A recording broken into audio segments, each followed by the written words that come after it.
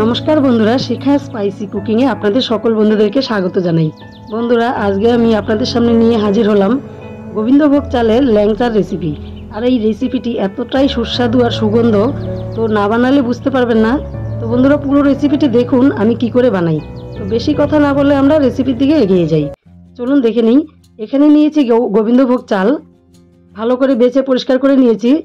একটা সুতির ন্যাকড়া ভিজিয়ে সেটা দিয়ে আমি মুছে নিয়েছি চালগুলো। আর ধুবো না।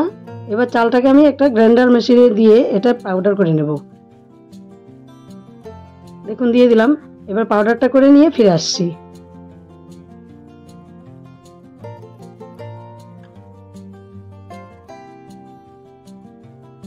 খুব সুন্দর একটি পাউডার করে নিতে হবে। তো আমি পাউডারটা করে নিচ্ছি। দেখুন বন্ধুরা পাউডারটা করা হয়ে গেছে। এবার একটা বাটিতে আমি ঢেলে নেব। বন্ধুরা সঙ্গে থাকুন, পুরো ভিডিওটা দেখতে থাকুন স্কিপ করবেন না কেউ, তাহলে বুঝতে পারবেন। খুবই সুন্দর একটি রেসিপি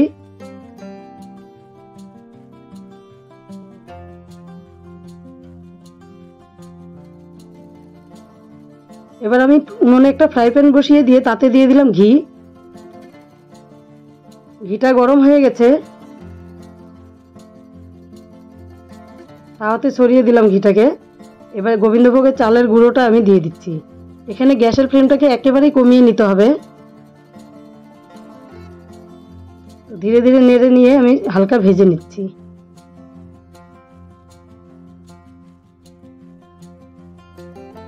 খুব সুন্দর একটি সেন্ট বেরিয়েছে বন্ধুরা। দারুণ লাগছে সেন্টটা আর গোবিন্দভোগ চালের তো সেন্ট এমনিতেই ভালো। এখানে নিয়েছি সামান্য পরিমাণ বেকিং পাউডার আর নিয়েছি বেকিং সোডা আর নিয়েছি আমুল দুধ।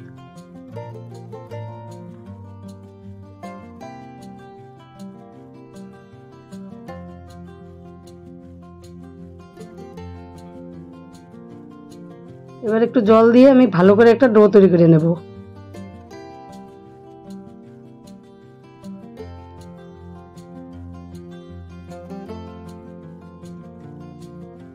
গ্যাসের ফ্লেমটাকে কমিয়ে নিয়েই বানাতে হবে বন্ধুরা। আর ঘন ঘন নেড়ে দিতে হবে, নইলে দলা পেকে যাবে। দেখুন, খুব সুন্দর একটি স্মুথ একদম ডো তৈরি হয়ে যাবে। বেশি জল দেওয়া যাবে না। দেখুন, একা একাই ডোটা কি সুন্দর তৈরি হয়ে যাচ্ছে। শুধু একটু নাড়তে হবে ভালো করে।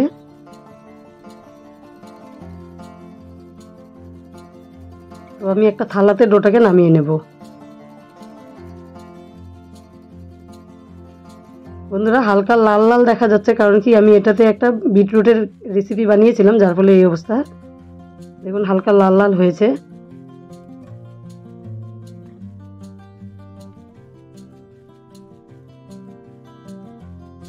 অনেকটাই লাল লাল হয়েছে। তো কিছু মনে করবেন না, আমি বিটরুটের রেসিপিটি বানিয়েছিলাম বলে এটা একটু লাল লাল হয়েছে। যাই হোক, এবার আমি হাত দিয়ে মেখে নেব। তার আগে একটু ঢাকা দিয়ে রাখব। এখন গরম আছে একটু ঢেকে রাখতে হবে।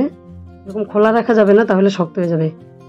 তো দশ মিনিটের মতো ঢেকে রেখে ফিরে আসলাম। ঢাকনাটা খুলে নিলাম।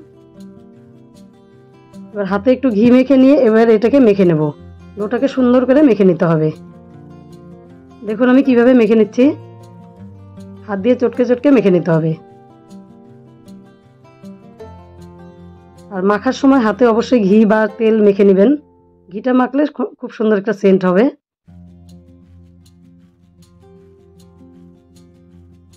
এবার আমি ল্যাংচা শেপগুলো দিয়ে নেব। তো শেপগুলো দেওয়ার জন্য হাতে নিয়ে নিচ্ছি। দু হাতে এরকম ডলে ডলে দেখুন বন্ধুরা, ল্যাংচা শেপটা দিয়ে নিলাম। আমাদের তো দোকানের মতো অতটা সুন্দর শেপ হবে না। তবু এরকম দিলাম। আপনারা যে যার নিজের ইচ্ছে মতন দিয়ে নেবেন। আরেকটা বানিয়ে দেখিয়ে দিচ্ছি।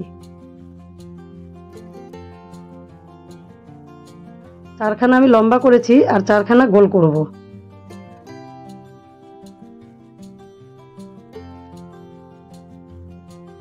তো দেখুন, এরকম করে বানিয়ে নিলাম। সত্যি বলছি বন্ধুরা, এতটা সেন্ট দারুণ লাগছে সেন্টটা এবার ঢেকে রাখলাম আরও দশ মিনিটের জন্য। দশ মিনিট পরে ফিরে আসলাম।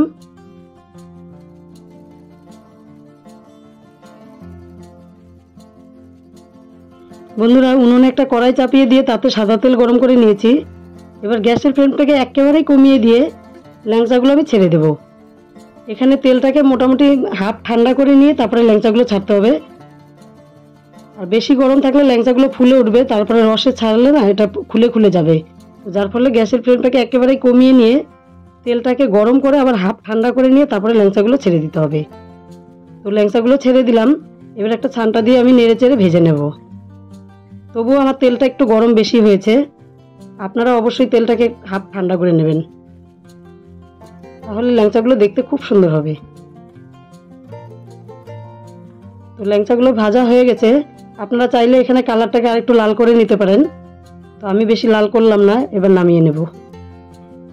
লম্বাগুলো ভাজা হয়ে গেছে, এবার গোলগুলোকে ভেজে নিচ্ছি।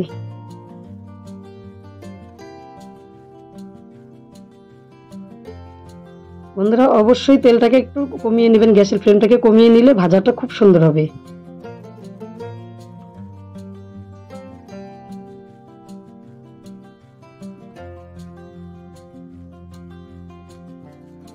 তো বন্ধুরা, সবগুলো ল্যাংচা আমি ভেজে নিয়েছি। দেখুন, এবার কড়াইটা ধুয়ে আমি এই কড়াইটাই আবার বসিয়ে দিলাম। এবার কড়াইয়ে দিয়ে দিব আমি দেড় বাটির মতো জল। প্রথমে এক বাটি দিলাম আরও হাফ বাটি জল দিয়ে দেব।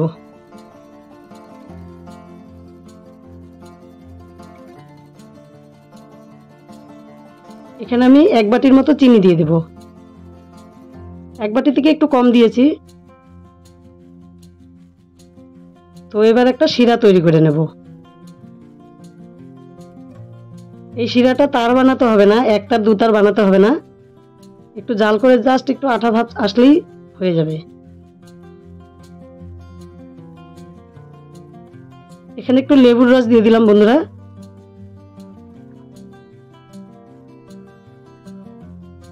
এই শিরাতে লেবুর রসটা দিলে পরে দলা পেকে যাবে না। বেশি আঠা হবে না এই জন্যই লেবুর রসটা দিলাম। তো বন্ধুরা, লেবুর রস দিয়ে জাল করে নিয়ে আবার শিরাটাকে একটু ঠান্ডা করে নিলাম।